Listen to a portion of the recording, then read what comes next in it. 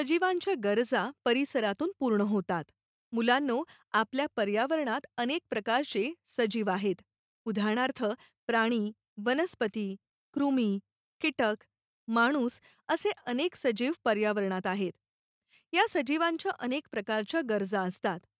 अन्न पाणी हवा वस्त्र आणि निवारा. या सर्व प्रकारच्या गरजा परिसरातूनच पूर्ण होतात. अन्न पाणी आणि हवा या गरजा तर सर्वच सजीवांना असतात. या गरजा पूर्ण झाल्याशिवाय सजीव आपले जीवन जगूच शकत नाहीत. पण प्रत्येक प्रकारच्या सजीवांच्या गरजांमध्ये फरक असलेला दिसून येतो. मुंगीला जेवढे अन्न लागते त्यापेक्षा जास्त अन्न चिमणीला लागते. तर चिमणीपेक्षा जास्त अन्न कोंबडीला लागते. म्हणजेच अन्नाची गरज सर्वांना आहे. पण त्यात कमी अधिक असा फरक असतो. फुलांमधल्या गोड मकरंदावर फुलपाखरे आपली भूक भागवतात. म्हणजे फुलांमधील जो गोड रस असतो तो शोषून घेऊन फुलपाखरे जगतात. तसे बेडकाला करायला जमणार नाही कारण फुलपाखराला पंख आहेत. त्यांच्या सहाय्याने ते उडू शकते. तसे पंख बेडकाला नाहीत म्हणून बेडूक उडू शकणार नाही. शेळी झाडाचा पाला खाते म्हणून वाघ खाईल का? तर नाही कारण शेळी तृणभक्षक प्राणी आहे. म्हणजेच गवत खाणारी आहे. ती झाडाचा पालाही खाते. तर वाघ हा मांसभक्षक प्राणी आहे.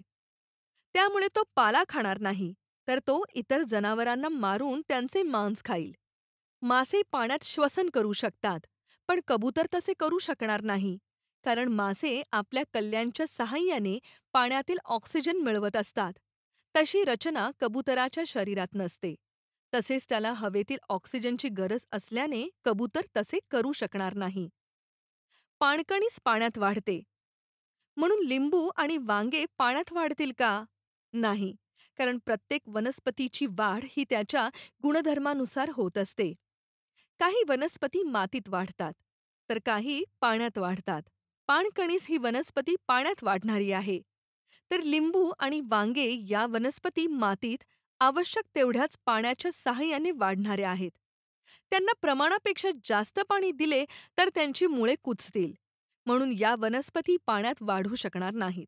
उंदीर दिवसभरात जेवढे पाणी पितो तेवढ्या पाण्याने हत्तीची एका वेळचीही तहान भागत नाही. कारण त्याचे आकारमान मोठे असल्याने त्याची पाण्याची गरजही जास्त असते. मुलांनो समजा पाणी सोडून जमिनीवर राहायला यायचे असे माशांनी ठरवले तर ते त्यांना जमेल का? नाही जमणार. कारण तुम्ही बघितले असेल की माशांना पाण्याच्या बाहेर काढले की ते लगेच तडफडू लागतात. थोड्याच वेळात ते मरतात कारण माशांना जगण्यासाठी आवश्यक असणारा ऑक्सिजन पाण्याबाहेर मिळत नाही. पाण्यात विरघळलेला ऑक्सिजन मासे आपल्या कल्याणच्या सहाय्याने घेत असतात. तसा ऑक्सिजन त्यांना जमिनीवरील हवेतून शोषता येत नाही. म्हणून मासे जमिनीवर राहू शकत नाहीत. मुलांनो अशा प्रकारे सजीवांच्या वेगवेगळ्या गरजा असतात आणि त्यामुळे त्यांना राहण्यास योग्य असा परिसरही वेगळा असतो.